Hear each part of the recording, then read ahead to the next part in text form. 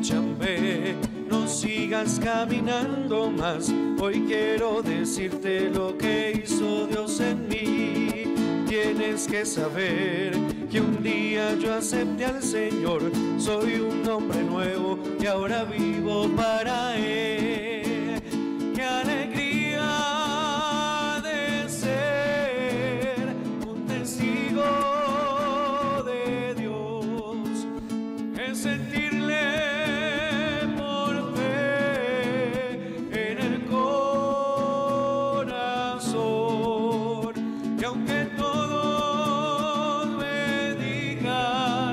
Que eso no es verdad, yo lo siento en mi vida aún más, mucho más. Dios te quiere a ti, eres importante para Él. Tienes que aceptarlo ahora mismo por la fe.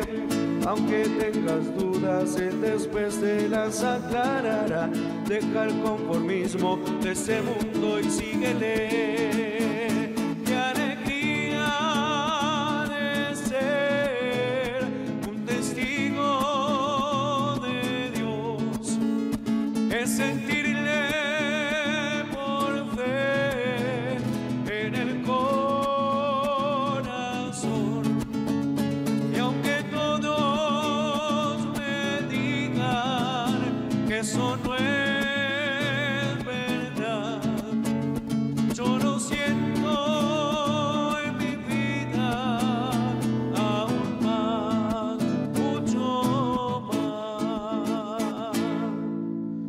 El nombre del Padre, del Hijo y del Espíritu Santo. Amén. La paz, la caridad y la fe de parte de Dios Padre y de Jesucristo el Señor estén con todos ustedes. Celebramos esta Eucaristía por el eterno descanso de José Lid Caicedo Restrepo en su primer aniversario de fallecimiento, intención de su familia. Tengan todos muy buenos días. Qué bueno poder estar aquí celebrando de nuevo la Eucaristía. Hoy quiero invitarlos para que en torno al altar del Señor vamos a darle gracias a Dios.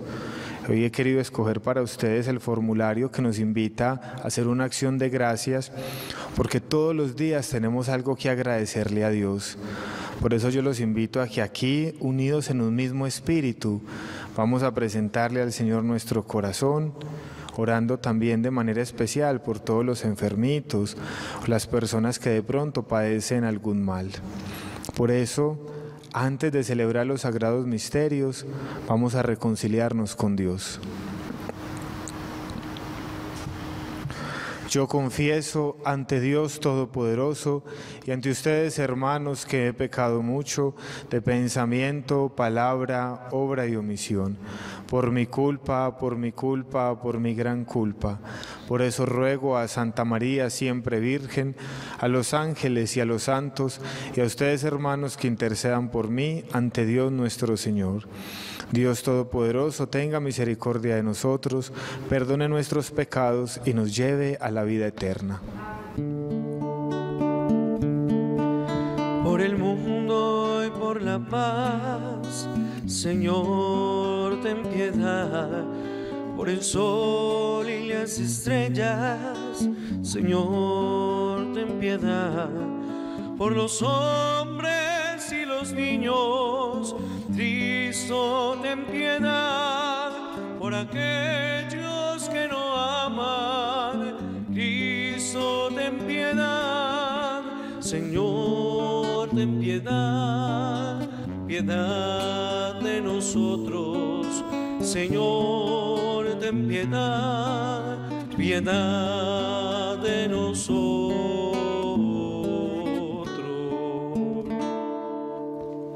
Oremos. Oh Dios, que siempre escuchas compasivo a tus siervos cuando están en la tribulación, al darte gracias por tus bondades, te suplicamos que libres de todos los males, te sirvamos siempre con alegría.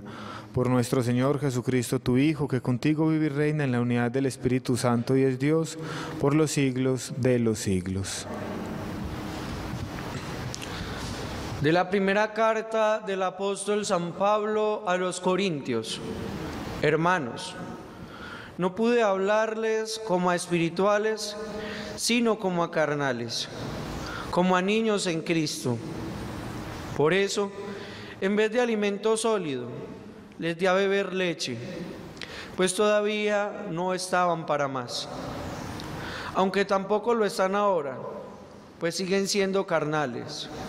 En efecto, mientras haya entre ustedes envidias y contiendas, no es que siguen siendo carnales y se comportan al modo humano, pues si uno dice, yo soy de Pablo, y otro, yo de Apolo, no se comportan al modo humano, en definitiva, ¿qué es Apolo y qué es Pablo? servidores a través de los cuales ustedes accedieron a la fe, y a cada uno de ellos como el Señor le dio a entender. Yo planté, Apolo regó, pero fue Dios quien hizo crecer. El que planta es nada, ni tampoco el que riega, sino Dios que hace crecer.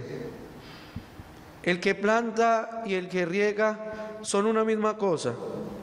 Si bien cada uno recibirá el salario según lo que haya trabajado. Nosotros somos colaboradores de Dios y ustedes campo de Dios, edificio de Dios. Palabra de Dios. Te alabamos, Señor. Dichoso el pueblo que Dios se escogió como heredad. Dichosa la nación cuyo Dios es el Señor, el pueblo que Él se escogió como heredad. El Señor mira desde el cielo, se fija en todos los hombres. Dichoso el pueblo que se escogió como heredad. Desde su morada observa a todos los habitantes de la tierra. Él modeló cada corazón y comprende todas sus acciones. Nosotros esperamos en el Señor. Él es nuestro auxilio y escudo. Con Él se alegra nuestro corazón.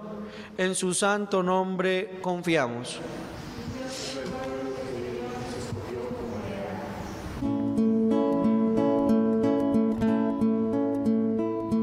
Por los poetas que nacen, por las flores del camino por el rezo de las madres, por la sonrisa de un niño, por la gente que se quiere, por el agua de los ríos, por la libertad del hombre, por tu hermano y por el mío. Aleluya, aleluya, aleluya.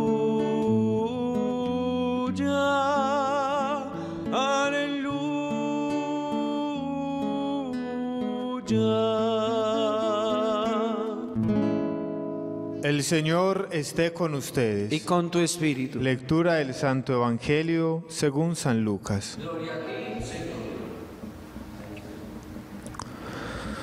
En aquel tiempo, al salir Jesús de la sinagoga, entró en la casa de Simón. La suegra de Simón estaba con fiebre muy alta y le rogaron por ella. Él, inclinándose sobre ella, increpó a la fiebre y se la pasó. Ella, levantándose enseguida, se puso a servirles. Al ponerse el sol, todos cuantos tenían enfermos con diversas dolencias se los llevaban, y él imponiendo las manos sobre cada uno los iba curando. De muchos de ellos salían también demonios que gritaban y decían, Tú eres el Hijo de Dios. Los increpaba y no les dejaba hablar porque sabían que Él era el Mesías. Al hacerse de día salió y se fue a un lugar desierto. La gente lo andaba buscando y llegando donde estaba intentaban retenerlo para que no se separara de ellos. Pero él les dijo, es necesario que proclame el reino de Dios también a las otras ciudades, pues para esto he sido enviado. Y predicaba en las sinagogas de Judea. Palabra del Señor.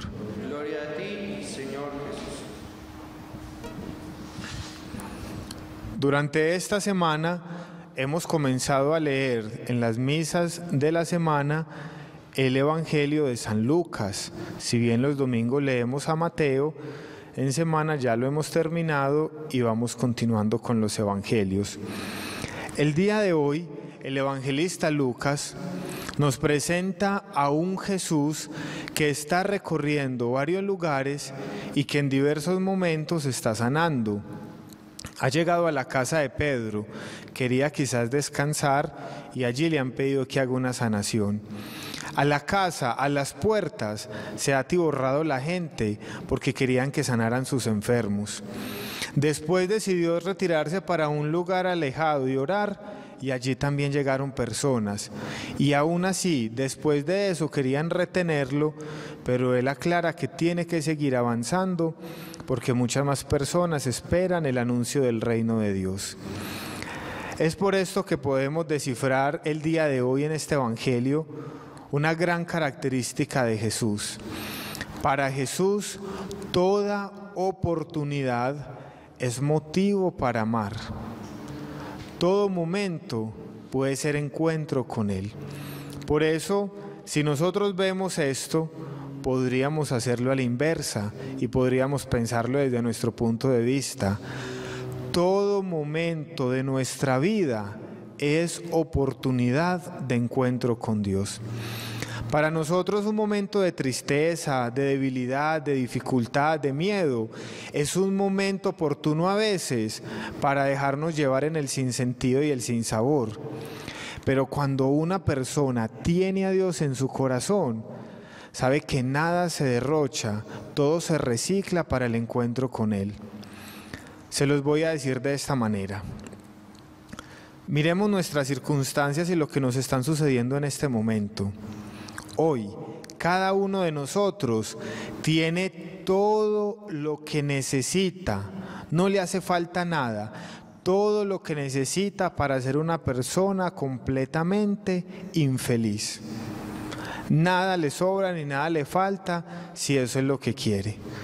Pero a su vez tenemos todo lo que necesitamos para ser completamente felices. ¿Por qué? Porque hay personas que aún teniéndolo todo, viven en sufrimiento, como hay otros que faltándoles todo, pueden ser felices. Entonces, ¿qué es lo que hace la diferencia? Una decisión. ¿Y saben cómo se llama esa decisión? Tiene el nombre más bonito que ha existido. Esa decisión se llama Jesús. Cuando yo descubro que todo lo que me pasa es una oportunidad de encuentro con Jesús, una oportunidad de amarlo, una oportunidad de entregarme, mi vida cambia, por más que en mi horizonte solamente vea tristeza y destrucción. Es por eso que esto es una invitación para todos aquellos que no creen, para todos aquellos que están perdiendo su fe por la pandemia, porque entre más rechacemos a Jesús, más se irá con Él nuestra paz y nuestra alegría, porque Él tiene la solución. El Señor curó a la suegra de Pedro. Algunos dicen que por eso fue que después Pedro lo negó. Pero esta mujer nos enseña algo muy claro a cada uno de nosotros. Cuando una persona es tocada por Dios, inmediatamente debe levantarse a servir. Ustedes y yo pedimos cosas a veces para el egoísmo, para sentirnos bien, para estar tranquilos, pero se nos olvida que cuando Dios toca nuestro corazón, la reacción inmediata tiene que ser el servicio. Jesús nos revela hoy que para Él todo tiempo era oportunidad de amar. Todo problema era una oportunidad de entrega. Toda persona que lo buscara era un futuro reino donde sembrar la semilla de la palabra de Dios. Hoy cada uno de nosotros estamos llamados a eso. Hagamos de nuestra vida y de nuestras circunstancias una oportunidad para amar y reconozcamos que en lo que nos sucede tenemos todo para ser infelices o tenemos todo para ser muy felices dependiendo de si escogemos vivir con Jesús o no. Que María Santísima nos ayude a cada uno de nosotros a poder permanecer y perseverar en el amor de Dios.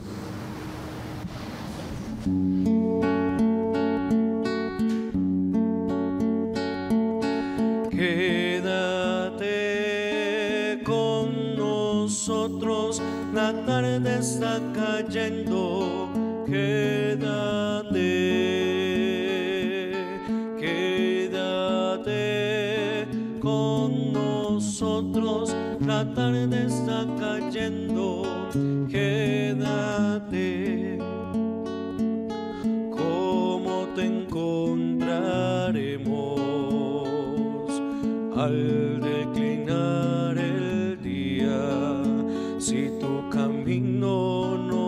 nuestro camino,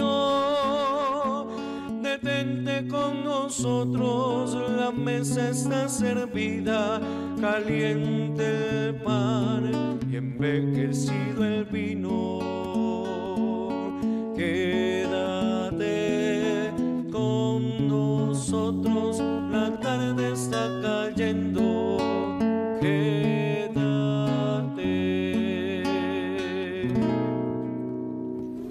Orad hermanos para que este sacrificio mío y vuestro sea agradable a Dios Padre Todopoderoso. Que el Señor reciba de tus manos este sacrificio que es para alabanza y gloria de su nombre, para nuestro bien y el de toda su santa iglesia.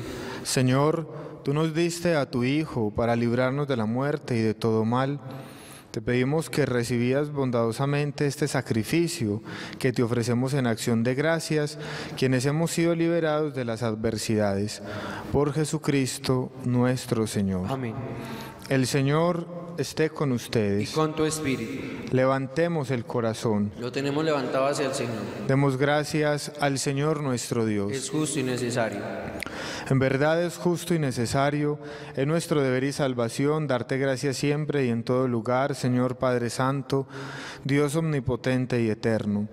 Pues aunque no necesitan nuestra alabanza ni nuestras bendiciones te enriquecen, tú inspiras y haces tuya nuestra acción de gracias para que nos sirva de salvación por Cristo nuestro Señor. Por eso, unidos a los coros de los ángeles, te aclamamos llenos de alegría cantando.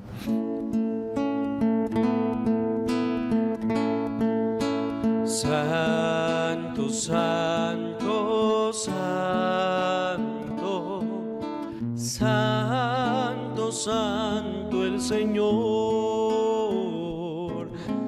El cielo y la tierra llenos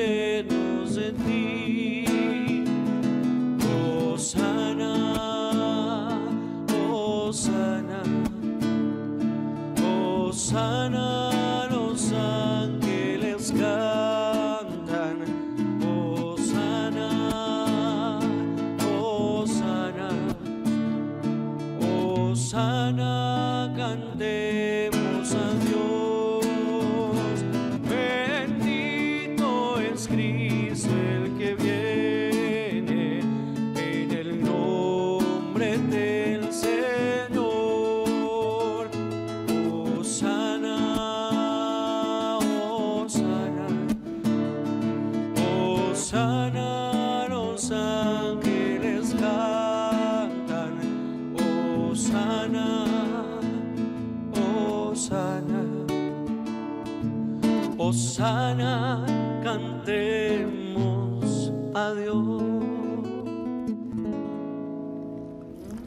Santo, eres en verdad, Señor, fuente de toda santidad.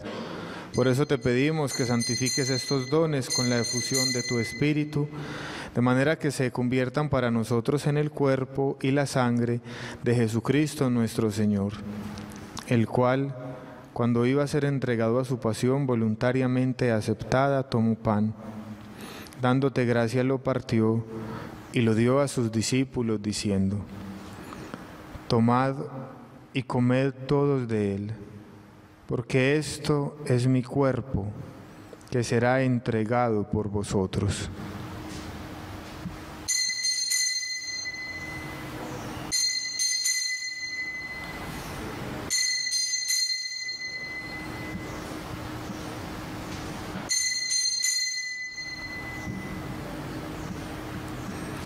Del mismo modo, acabada la cena, tomó el cáliz, dándote gracias de nuevo, lo pasó a sus discípulos diciendo, Tomad y bebed todos de él, porque este es el cáliz de mi sangre, sangre de la alianza nueva y eterna, que será derramada por vosotros y por muchos para el perdón de los pecados. Haced esto en conmemoración mía.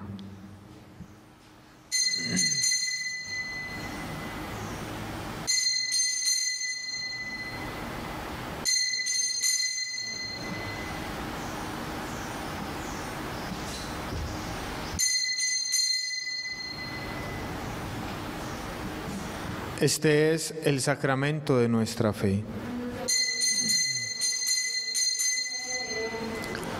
Así pues, Padre, al celebrar ahora el memorial de la muerte y resurrección de tu Hijo, te ofrecemos el pan de vida y el cáliz de salvación y te damos gracias porque nos haces dignos de servirte tu presencia.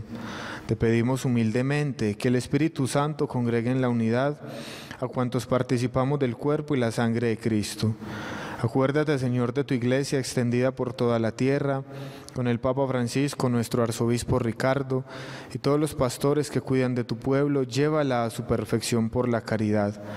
Acuérdate también de nuestros hermanos que durmieron en la esperanza de la resurrección, en especial de José Lid Caicedo Restrepo en su primer aniversario de fallecimiento y de todos los que has muerto en tu misericordia, admítelos a contemplar la luz de tu rostro.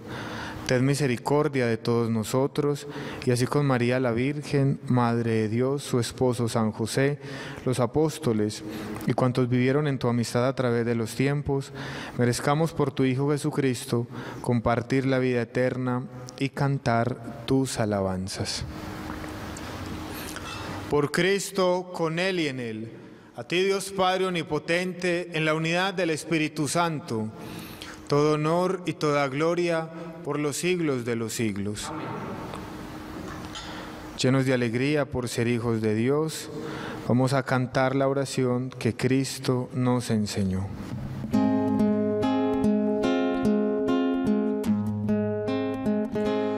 Padre nuestro que estás en el cielo santificado sea tu nombre.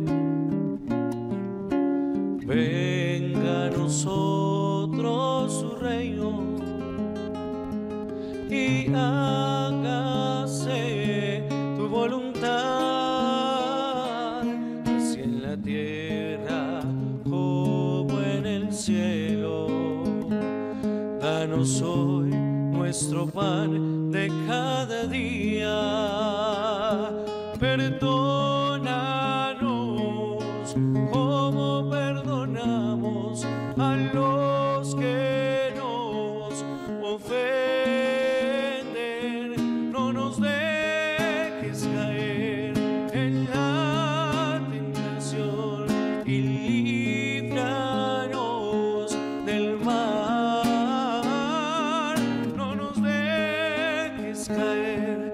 en la tentación y líbranos del mal.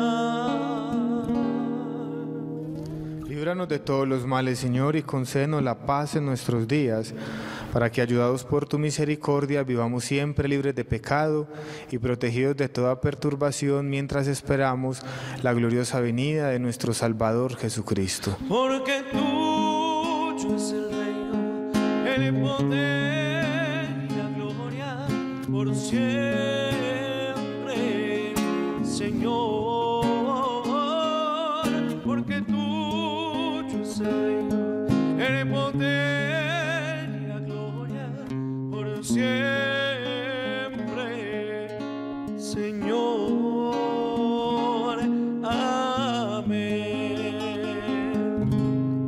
Señor Jesucristo, que dijiste a tus apóstoles, la paz os dejo, mi paz os doy.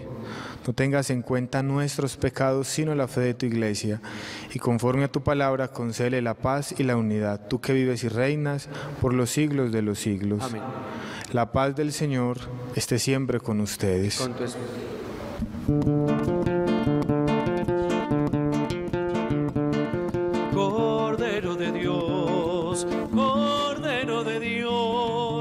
que quitas el pecado, ten piedad, ten piedad, ten piedad de nosotros, ten piedad, ten piedad, ten piedad de nosotros. Cordero de Dios, Cordero de Dios, tú que quitas el pecado, danos paz, danos paz, danos paz para el mundo, danos paz, danos paz, danos paz para el mundo. Este es el Cordero de Dios que quita el pecado del mundo. Dichosos los invitados a la cena del Señor. Señor, yo no soy digno de que entres en mi casa, pero una palabra tuya bastará para sanar. Te alabaré, Señor, de todo corazón, porque escuchaste las palabras de mi boca.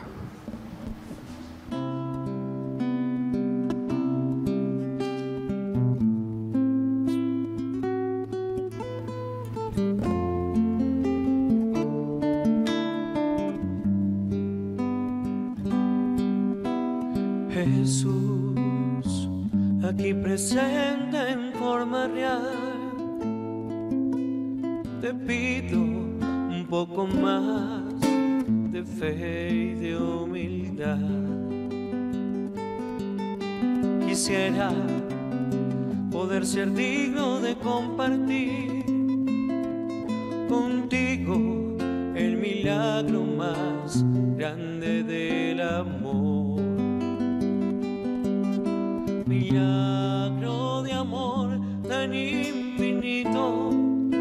que tú, mi Dios, te olvidas de tu gloria y de tu majestad por mí. Milagro de amor tan infinito en que tú, mi Dios, te has hecho tan pequeño y tan humilde para entrar en mí. Milagro de amor tan infinito tú, mi Dios, te olvidas de tu gloria y de tu majestad por mí.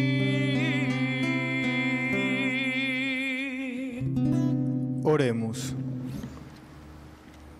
Dios Todopoderoso, que por este pan de vida te dignaste liberar a tus siervos de la esclavitud del pecado y restaurar piadosamente sus fuerzas, concédenos progresar siempre en la esperanza de la gloria. Por Jesucristo nuestro Señor. Amén. Muchas gracias a todos los que participan de la Eucaristía. Saben que aquí colocamos siempre sus intenciones. Vamos a cuidarnos bastante durante estos días y cuando estemos saliendo vamos a hacerlo de la mejor manera. Esta bendición llegue a ustedes y se haga extensiva, especialmente a todos los enfermitos de nuestra familia o a quienes tengan alguna dificultad. El Señor esté con ustedes. Con tu espíritu. La bendición de Dios Todopoderoso, Padre, Hijo y Espíritu Santo, descienda sobre ustedes y los acompañe siempre. En la alegría de Cristo pueden permanecer en paz. Demos gracias a Dios. Dios te salve María, llena eres